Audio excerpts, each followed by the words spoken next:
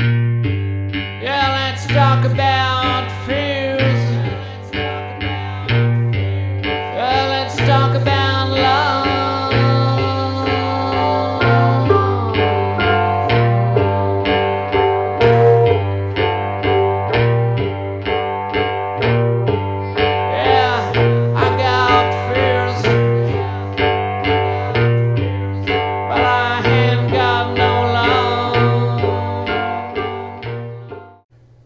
Theresa doesn't seem like that at all. And by all accounts, she was safe. She she wasn't a high risk victim at all. So why did she become a victim? That's what we have to look at. So through her victimology, she was raised in a in a tough environment with siblings um, that were older than her, but she integrated well into whatever community she was in. Um, she was not easily intimidated. I'm reading here uh, from a quote from the victimology form that I had them the family fill out. Uh, she wasn't fearful of falling victim to any type of violent crime. Theresa's family once lived in a predominantly African American community in the Boston area and then moved to Bellingham. Um, she had a false sense of security because of this. But Bellingham is a small rural town as compared to the area in Boston where they used to live. Uh, Theresa's professional goal was to be a pediatrician. Um, she was enrolled at classes at Holliston Junior College to become a medical assistant. And she had only lived in Bellingham a couple years prior to her death. So, when I look at this victimology form, okay, first off, why why have somebody fill out that form? Again, you want to know that victim. And I gave many examples of this, so I don't want to rehash it. But it gives you an insight as to what they will do during a given situation. It also tells you you can start deducing things, maybe not 100%, but you know, you can you can certainly deduce from possibility to probabilities based strictly on victimology. Here's an example in this case. So I'm going to read right from my report, you know, what I deduced straight from victimology. So this is my victimology assessment. So what about Theresa's victimology help us us get closer to solving her murder? We can deduce a number of things just from victimology. Okay, so number 1, she would speak to strangers, which leads to her vulnerability to be coaxed into a vehicle of possible abduction. Okay? She was trusting. We can deduce this because of her outgoing nature and the fact she hitchhiked often. She was tough. She believed nothing bad would happen to her, especially as it related to her walking and hitchhiking. She was not a heavy drinker. She did smoke marijuana, but that was the extent of her drug use, and it wasn't extensive. Her small body weight and height, 5'4, 120, would have an effect on her intoxication level when drinking. See, these things you learn from victimology as well, and they play a key role in deducing what happened. Number five, her sexual history indicates only two known partners. If this is true, the account of consensual sex that we're going to encounter later at the Presidential Arms with multiple partners can be called into question. She was attractive in good physical shape and she walked a lot. She may have been a victim of a past sexual assault by a neighbor. That's not confirmed. And she had a good, if not great, relationship with her family and her mother and would call home if in trouble. Now that's that's eight items that we deduced just from her victimology alone. Do you see how this now can play into the unfolding of this case as we go forward? So, from that victimology, let's jump right to the timeline. Let's jump to, and I want to be specific on this timeline, like I told you that I would be.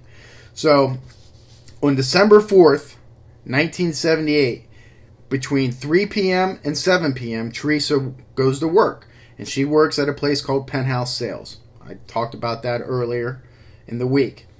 She says that she's going to a party later. Nothing unusual, you know. She's in college. She's 19. You know, okay. Now, at some point before going to the bar, she is drinking at a person's house whose name's Jimmy at his apartment. So her intoxication level is starting to to go. At 10:30, so between 7 and 10:30, within that time frame, she's already drinking. At 10:30, she arrives at the train stop bar. She's there to celebrate a friend's birthday. This was planned. She's there for an hour till about 11:30. Her boyfriend is there with her. her. His name is Rick. They get into an argument. Now, what is that argument about? Um, he is seen talking to one of his ex girlfriends there, supposedly, and there were some jealousy issues there. You know, just like any typical young relationship, nothing out of the ordinary. But she leaves that bar. Now, this is where some discrepancy comes in, and this is where it hurts not having the police reports. Because I think the police reports would have this fact that we should know. So we don't know whether she hitchhikes or she's or she's given a ride. I tend to believe she's given a ride um, to the Academy Arms apartment building. There's documentation that she's picked up by a gentleman named Ronnie.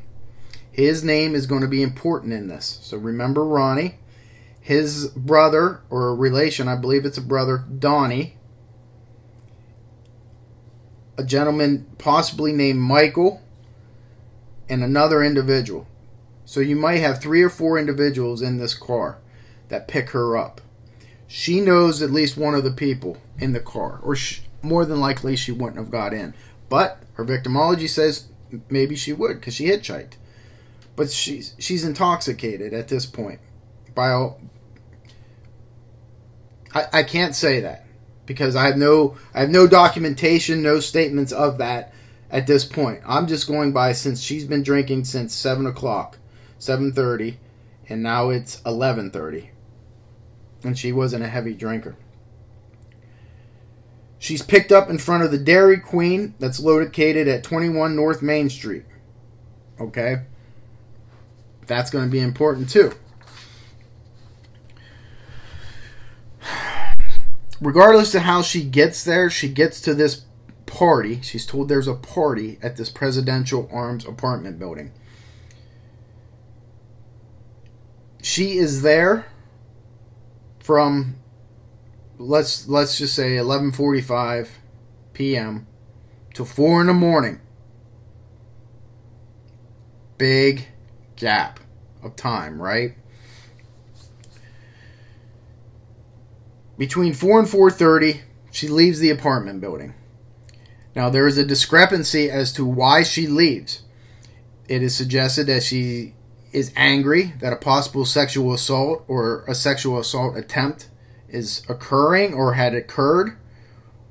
But we don't we don't know for sure. But what we do know is when she departs, she leaves that apartment with mismatched shoes one male shoe and one of her own shoe. Now, see, this is something that had to be worked backwards from when the body is discovered. It's not that simple. The body is discovered, and if you find two different types of shoes, well, you're thinking, well, what's going on?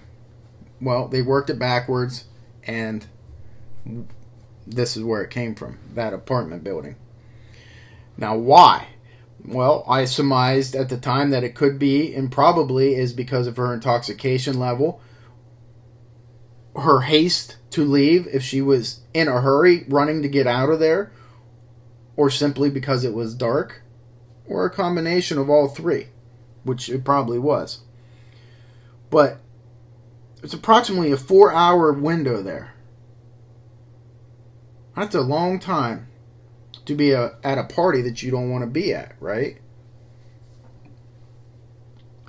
So between four and five, now that she has left that apartment building, that party where it was all guys, she's observed sitting on a guardrail between 4 and 5 a.m. on Route 140, and she's picked up by a Garelick Farms truck driver. He drives her to the entrance of his employer, which is at 1199 West Central Street in Franklin, Massachusetts.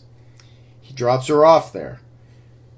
She's then picked up by a second Garelick Farms driver who drops her off in front of the police station at the intersection of Route 140 and Route 126. They say she's cold. They say she's intoxicated.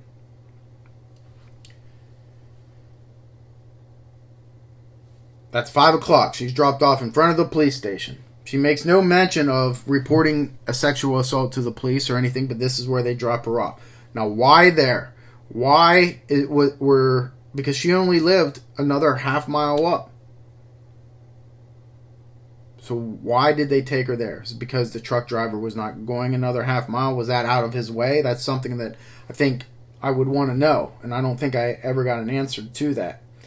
But at 5:30 a.m., 30 minutes now probably after she was dropped off, Theresa's observed by three men carpooling to work at the General Motors plant. She's walking past the Dairy Queen, same Dairy Queen that she was picked up in front of, walking towards Hartford Avenue. This is the last known sighting of Theresa alive. This is on December 5th.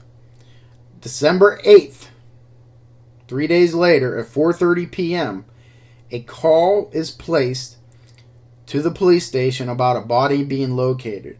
The caller identified himself as John Burlington from Connecticut. Police get there. Theresa's body is recovered in a gully off of the northbound lane of Interstate 495. Okay, this John Burlington is going to be a key figure as well as we move forward here.